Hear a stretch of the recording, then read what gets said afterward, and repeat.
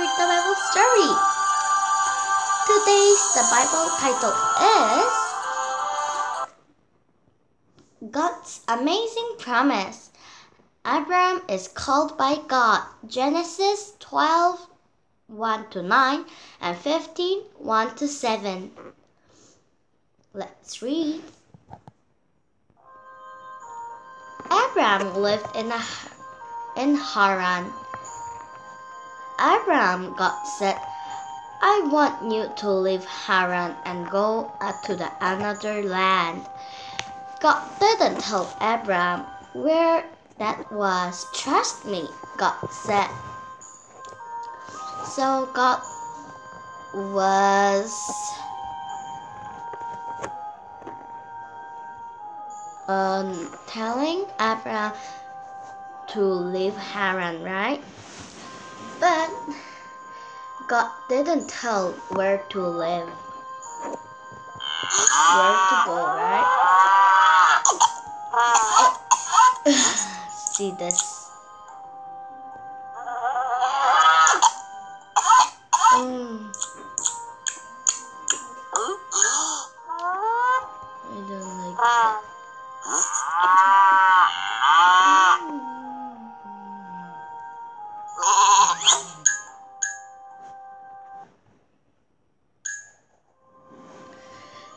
This, God said, and your children will become a great nation. How? Abraham wondered. His wife Sarah was too old to have a children. Trust me, God said. So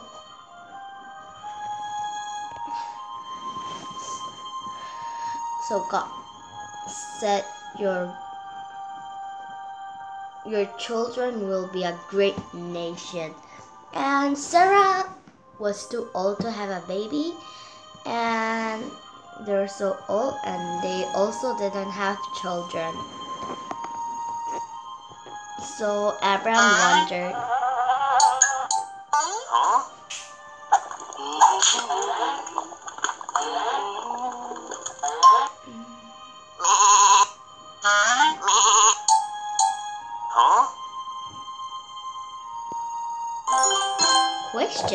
question that got to Abraham where he was going. Did God tell Abraham where he was to go? No, God didn't tell. God said, just leave Haran. Go where I tell you, God said, and your, you will have more distance than there there are stars in the sky. They will bless the whole world. Trust me. So God God said, Where I tell you wherever I tell you, go to there and you will have more distance than the stars. And God said, I am promising you. Trust me, right?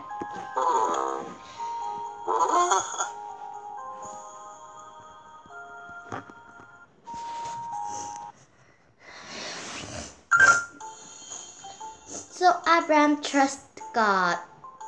He took Sarah, his nephew, Lot, and everything they want. He went there.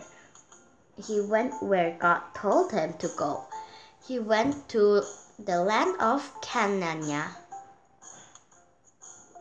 Can and ah and hmm, yes. So God told God told to Abraham to go to Canaan, right?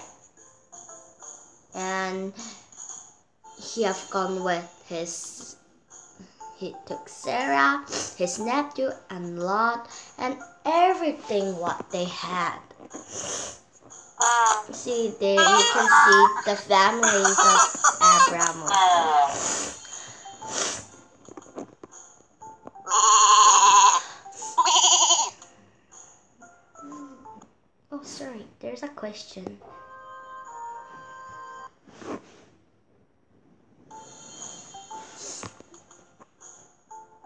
There's a question. Question God said Abraham would have more distance than there are cows, trees, and the stars. The stars are correct. When he arrived, Abraham camped at Shechem. God appeared to him, I will give this land to your children. And God said, Abraham built an altar to God there. So God said, I will give your this land to you and your children. And so Abraham was uh, thanking to God, so he have built that altar there. Mm, that's very. He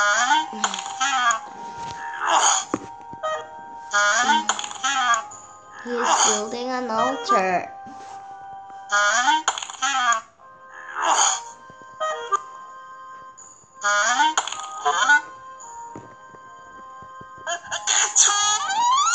I don't know why Sarah is kept making a soup. In the first page, second page, third page also, and fourth page he was riding on a donkey. Not fourth, fifth page. Still his she's making a soup.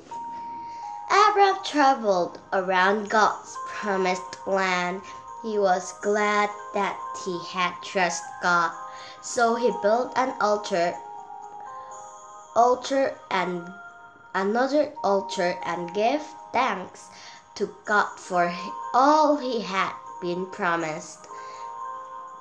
So he have done two altars, one for because he was glad to trust God, and another altar was for thanking God for promising, been promised.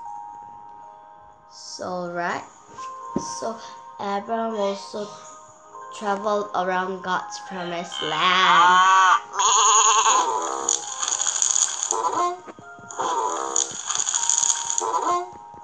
Oh. Now Sarah is not making a soup.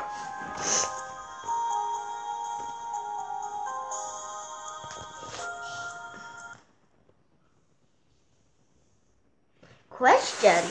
Abraham built an altar to God, giving thanks for all he has been promised. True or false? True. Yes, so like I have read God's amazing promise. Yeah, congratulations. Actually, it is. Abraham is called by God. Genesis 12, 1 to 9 and 15, 1 to 7. Yes, did you like that story? And actually, we didn't see the diamonds before, but the diamonds are hidden in the stories. We will find the diamond, right?